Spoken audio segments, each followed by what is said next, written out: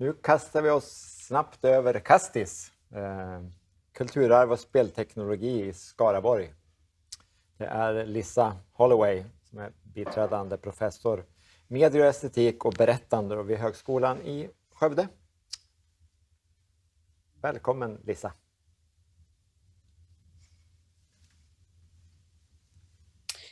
Hello. Good morning. Hello. morning. Um, I'm going to present in English. I hope that's okay. Yeah. And um, yes, so as you just learned, I, am from the University of Skövde, uh, where I'm an associate professor. I work in a subject area called media arts, aesthetics, and narration, which I think is important um, to, to explain just very briefly, um, because even though some of the work I'll show today for the project, the Kastis project, which in English is Cultural Heritage and Game Technologies in Skaraborg, uh, that I, I do a lot of research around all kinds of media that are not necessarily even digital media. And I, so I work across uh, literature, film, uh, you know, books, performance, all kinds of things. Um, but I do focus on interaction and I focus on how the, um, the sociocultural impacts of technology. And that's part of where my role, I run a research group called the Game Research Group, um, but that it's um, moves across games, art, media experience. We have all of these combined together. So when we think of games or we think of um, uh, technologies like VR, AR, all of these together, um, we're thinking of them as complex media objects and considering the ways in which they, um, you know, they are impacted by visitors or users in the experience, particularly within that. So I'm going to talk about the Kastis project for sure, but I'm going to talk about a sub-project within that primarily, which is called the Club Project. Then I'll explain how that works. Um, and I'm going to just start actually with a little bit of background um, uh, so this is the project. I'll come back to the project and show you some examples, of course, from the project, but I'm going to ground a little bit of information here to say that the, you know, the project actually began um, with funding from the municipal, the Skaraborg municipal authorities, um, and has then also received more funding from the Västra Götalands region uh, where um, that to support some of the activities within that. And it's operated within two different phases. So we started in 2015 to 2018. But because of the success of the project and the ways in which we were um, meeting some of our aims and goals, we got additional funding that continues now through the end of 2021, which is awesome. and really, the aim was to um, consider how you know technology platforms can support um, you know cooperation among cultural stakeholders in the region, a range of different kinds of folks, um, and also, of course, create knowledge that not just knowledge about the cultural heritage, but knowledge about the technologies that are used um, and different ways that we can really work collaboratively together to do that. So through series of seminars, workshops, and all kinds of demonstrators and so on. So um, the initial aim was to work on three digital narration platforms. So that was in museums, but also on cultural heritage sites, but also to explore particularly this idea of transmedia storytelling that storytelling across a you know a number of different platforms. And some of those platforms are not necessarily digital platforms as you'll see. Um, and um, the aim with the kind of the newer work was to continue to focus on integration um, and how we can cooperatively come up with a model for thinking about that. Um, so that's the kind of grounding and funding for the project. And I work primarily as the research leader within that. And the project leader is Lars Vipwa, my colleague, who does amazing work um, pulling the bits and pieces, as you'll see. It's a kind of a grand project from a small Högskola in a small subregion within Sweden. So on the scale of the other work that I think I've seen this morning, um, this question of you know how how scalable or how, how kind of downsized can you begin? Um, that's one of the things that we deal with is how can we create a kind of a model for cooperation and to use technology, but still make it quite accessible and not costly and overly expensive and how can we gather our sort of labor together in that way so maybe you'll see um, some more examples of that and just to point out really quickly for those of you who um, don't know again Skaraborg is an older subregion within the larger region of the Västra Götalands and I'll come back to that um, you can see you know Huda is up in the middle um, a little bit within the Skaraborg, the yellow region there. But I just, again, a little context for how we work. Again, I'm coming from a university perspective, and uh, I want to point out that we have a very large games education at the University of Twente. It's one of the largest in Northern Europe with a, a degree granting. So we have over 500 students in a range of different degree programs that range from the more artistic and cultural, writing, sound, music, graphics, to programming and design and other issues. And we even have a very special program uh, a master's program called Digital Narration, Cultural Heritage and Game Technologies. And I work a lot within that program and with master's students where we work with museum partners and other kinds of cultural folks um, in schools and uh, in different capacities to help students who are doing their research and thesis work figure out what this very special configuration of working with museums for technology and how games and games is defined very broadly. Um, sometimes it's interactive media of all kinds can support that. Um, and so we have a lot of um, faculty and research working within that. And we recognize we draw very much on the idea of interdisciplinary interests, again, from the cultural to the technical, uh, we often talk about the fact that it's not the technology necessarily that needs the development, it's the, it's the knowledge around the technology and how it impacts culture. Um, so you'll see examples of that. And again, we co-creation is at the core of our work. So we want to work in partnership with participants. You know, we're not necessarily um, as a you know in another business model um, you know hired to come in and do something specific. It's about very iterative design processes on small scales on bigger scales with a range of different kinds of people. Um, and i gave you a quote from Nina Simon's the participatory museum there um, to say that you know our aim is really to be responsive to the needs of local community members and to understand it's not one size fits all.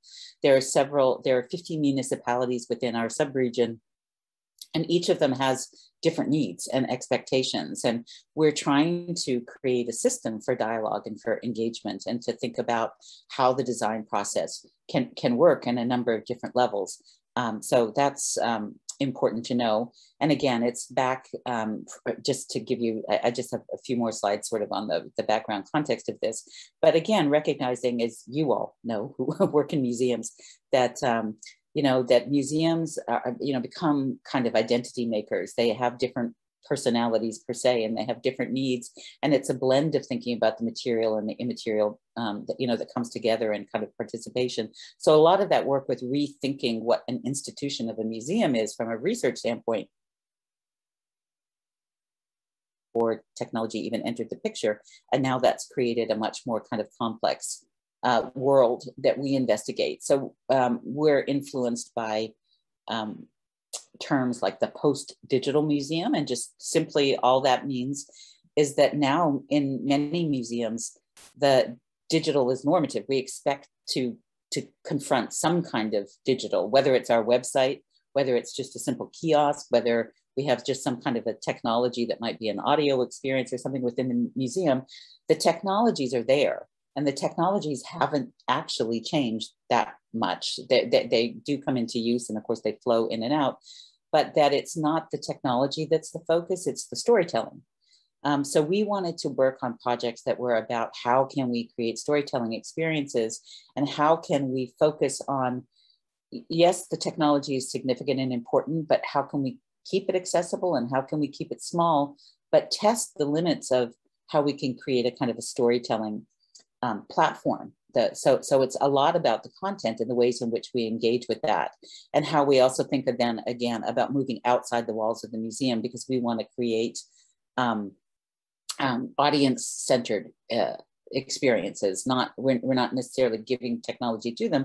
We want them to sort of be very involved um, in the process along with that. And again, I would just say that um, serious games or games that are in museum or in other cultural heritage spaces have now been around for, you know, quite some time, a decade and a half plus, sometimes two decades, if you think about how, whatever, how you define a game.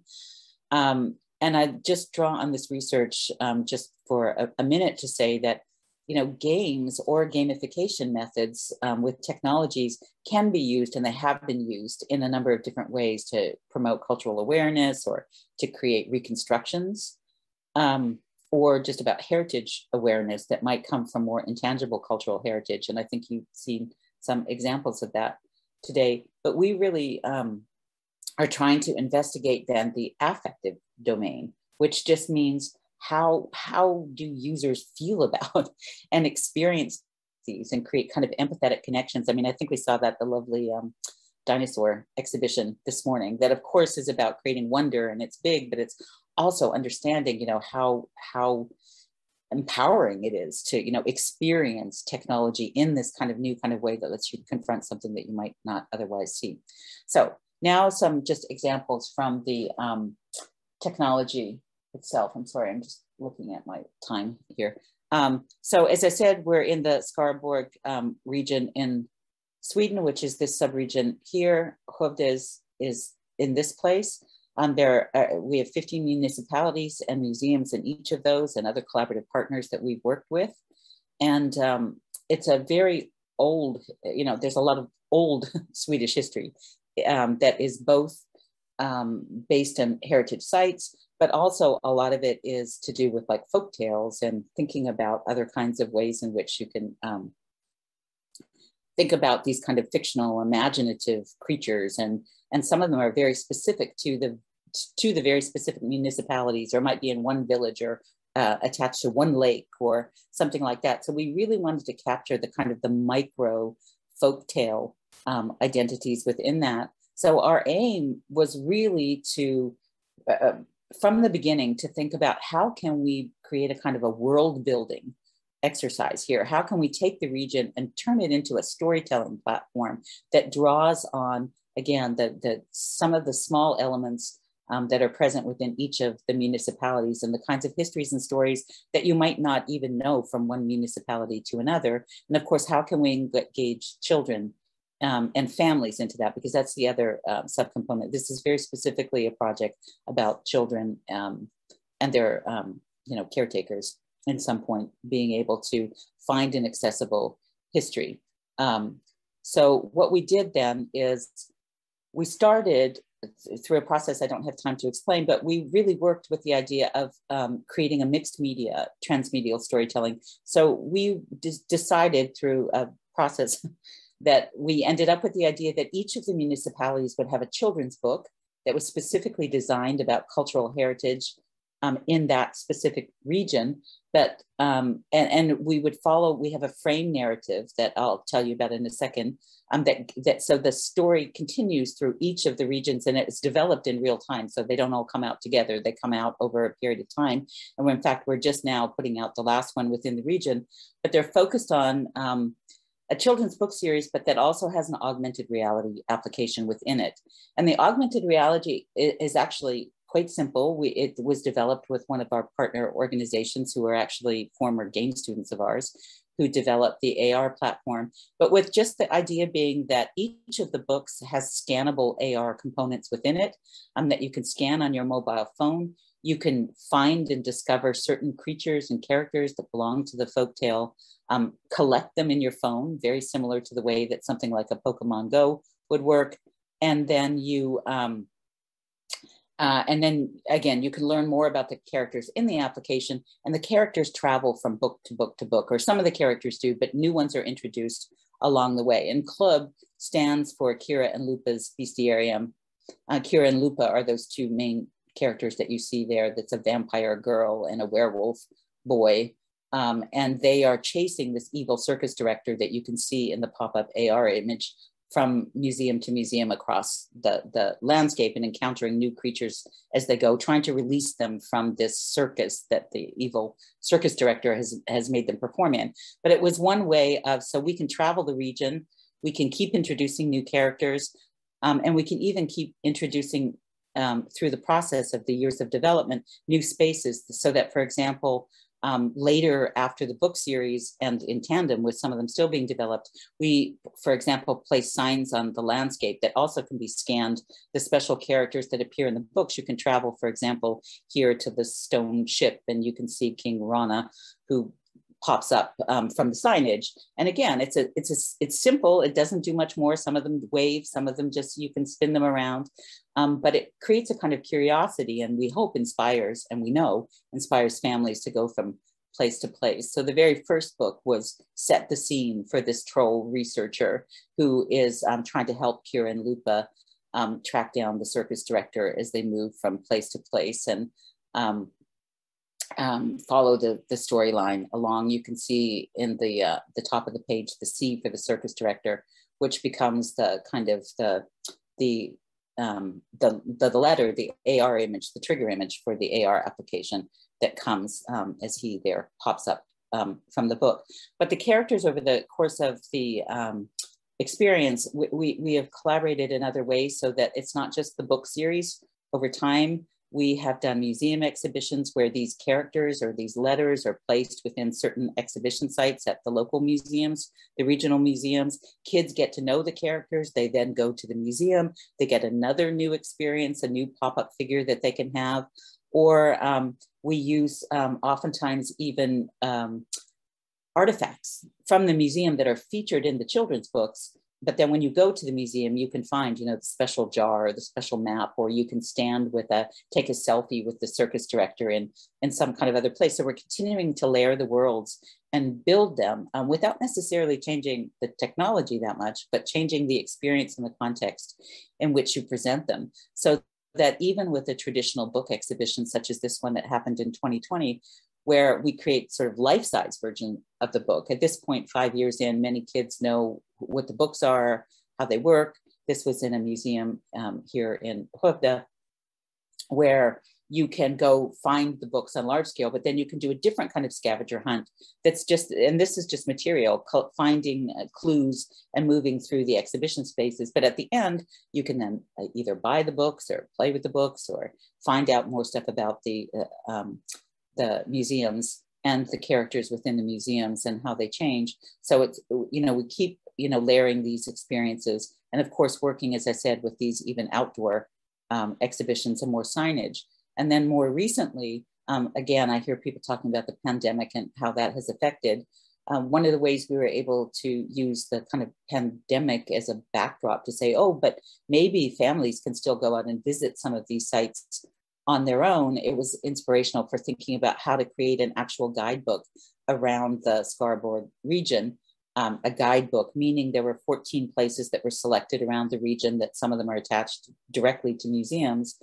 And um, kids and families could travel to the museum where they can scan, again, just a simple QR code, um, but that that would download an audio version of the books. And that, so they were inspired to, you know, keep finding the technology, but in this case, it's an audiobook. So maybe they've read it, but we were partnered with another organization called Media Poolin, who um, took the paper, you know, traditional books and then also through you know voice acting and so on turn them into audiobooks so you could collect them again coming to the signs um, and not all of them are at museum sites but and then this is the last book that we just finished um, that again introduced these new figures called the milk milk hares who are special magical creatures who are transformed and become hybrids of different kinds of characters.